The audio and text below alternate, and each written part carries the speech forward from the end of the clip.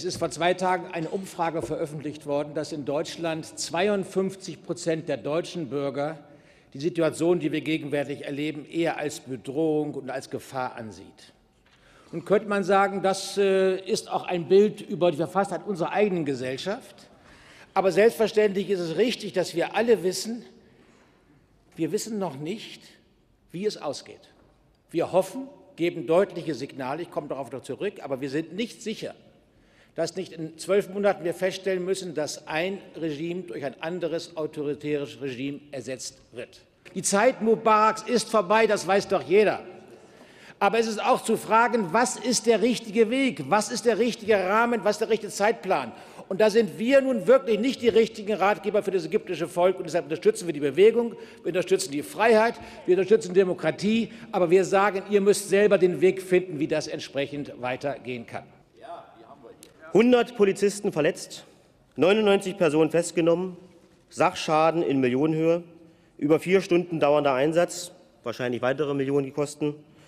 Das ist die Bilanz des 2. Februar. Das ist keine Märchenstunde, das ist kein kalter Kaffee, das ist Berlin. Worum ging es denn hier? Um eine Selbstverständlichkeit in einem Rechtsstaat.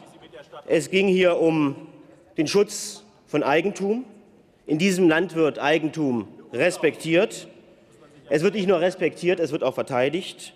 Eigentum ist nicht nur grundsätzlich vor staatlichem Zugriff gestützt, sondern eben auch vor unrechtmäßigem privaten Zugriff. Und wir Liberale, wir stehen dafür, dass wir natürlich den staatlichen Einfluss da, wo es möglich ist, zurücknehmen. Aber bei solchen Dingen muss man klar sagen, konsequentes Vorgehen. Es handelt sich hier eben nicht um einen Fall der Versammlungsfreiheit oder Ähnliches. Die Berliner FDP zum Beispiel hat dazu richtigerweise Stellung bezogen. Zitat, die Freiheit des Einzelnen endet dort, wo mit Gewalt rechtswidrig in die Rechte Dritter eingegriffen wird. Ganz konkret treffen linke Gewalttaten einfache Menschen. Ladengeschäfte gehören keinen Superreichen. Einrichtungen, abgebrannte Autos treffen keine Superreichen. Sie treffen ganz normale Versicherungsnehmer.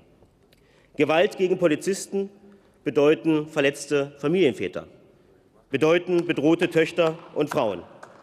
An dieser Stelle deshalb herzlichen Dank an die vielen, die ihren schweren Dienst tun, um den Rechtsstaat zu verteidigen, die Polizisten, die Verwaltung, die Ordnungsbeamten. Dafür unser Dank. man fragt sich schon, was Menschen aus der linksextremen Szene eigentlich für, ein für eine Auffassung von einem gesellschaftlichen Zusammenleben haben. Leben auf Kosten anderer, nehmen, was ihnen nicht zusteht zerstören, was ihnen in die Quere kommt und diese Straftaten am Ende noch politisch adeln. Ich hoffe, das gesamte Haus verurteilt solche Gewalttaten. Worum ging es im konkreten Fall? Um ein Kulturprojekt, um eine moderne Form des Lebens, ähnliches. Eine Berliner Zeitung fragte, warum eigentlich nochmal hätten wir alle uns gerade jetzt mit den Bewohnern der Liebigstraße 14 solidarisch erklären sollen. In welcher Hinsicht geht Ihre Renitenz, Ihr Kampf, Ihr künstlerischer und kreativer Einsatz uns alle an? Welcher politische Wille verbindet sich mit diesem Projekt? Welche Vision einer Stadt steckt dahinter? Mit welcher Form von Kultur wollten die Bewohner dieses Hauses ihre Umgebung bereichern, herausfordern, beglücken? Man weiß es nicht. Auf alle diese Fragen haben die Bewohner der Liebigstraße 14 keine Antwort gegeben. Die FDP macht sich immer und jederzeit zum Anwalt der Vielfalt der Lebensentwürfe und der Lebensformen, auch alternativer Lebensentwürfe und Lebensformen.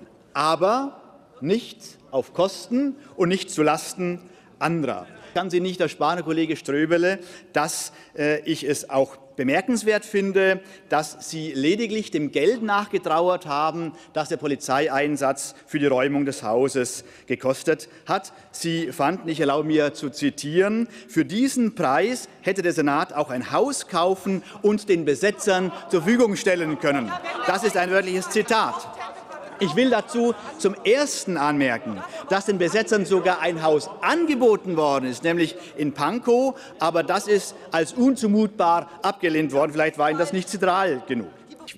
Denn wenn man diesen Gedanken mal um die Ecke und zu Ende denkt, dann heißt das, ja, dass wenn der Staat derartige Bürgerwünsche nicht erfüllt, dann ist der Staat doch eigentlich selber schuld, wenn er Kosten in die Hand nehmen muss, weil die Bürger ihr Recht selber in die Hand nehmen wollen. Hätte doch der Senat den Bewohnern ein Haus gekauft, dann wäre all das nicht passiert.